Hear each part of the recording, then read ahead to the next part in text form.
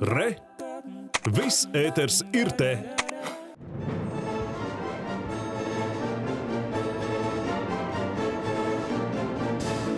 Latvijā uz mūsu simfoniskā orķestra vecgada koncertiem pēc sešiem gadiem atkal atgriezies pazīstamais franču diriģents Žiliens Masmandē. Viņam uzticēta ordināla koncerta programma. You know, Man tā ir fantastiska pieredze. Vienā koncertā sapludināt klasisko mūziku ar džēzu. Un šie trīs mūziķi no džēza pasaules ir piepildīti ar enerģiju. Esmu franču diriģents, un tik intriģējoši ir dzirdēt, kā piemēram sensāna mūzika skan pavisam citādā interpretācijā un ar lielu svaigumu. Pianista Edgars Cīruļa džēza trio aranžējuši franču klasiskās mūzikas hītus. Galvenais ir bijis to darīt ļoti personīgi, bez aizspriedumiem. Tāda ir arī Žorža Bizē Kārmena. Mana interpretācija par to, kas notika, ja viņi tiktu iemesti šajā laikā. Mēs kaut kādā veidā mūziku cenšamies to haosu, 21. gadsimta haosu un tādu trauksmi reprezentēt. Un tā ir cīņa starp trio un orķestri. Edgars Cīruļa un Jāņa Rubika pārlikumā džēzus trio skanēs arī Debesī, Satī, Sensāns, Bizē un Ravēla opus. Un katrā no darbiem dzirkstīs muzikāli joki un enerģija.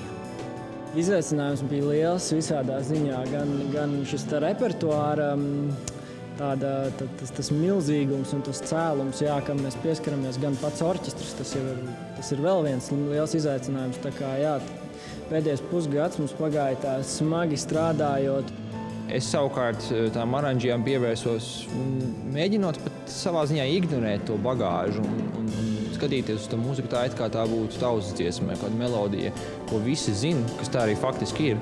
Un, un vienkārši mēģināt uztvert to kā, kā pirmu kodu, no kura var iz, izvijot pilnīgi jebko, ko tu vēlēsies ārā.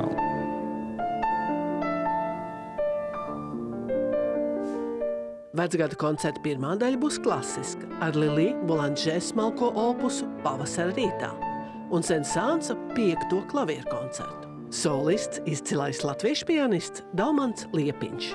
Šai mūzikai jau nav tādi ļoti strikti kanoni. Nu, daudz kur ir, bet, protams, jautājums ir tas, vai tu gribi tiem pakļauties vai nē.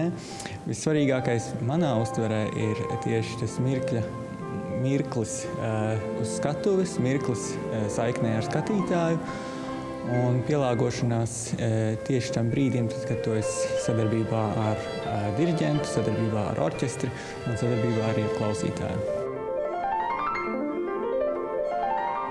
Latvijas Nacionālā simfoniskā orķestra vecgada koncerti izskanēs 3. decembra nogales vakaros.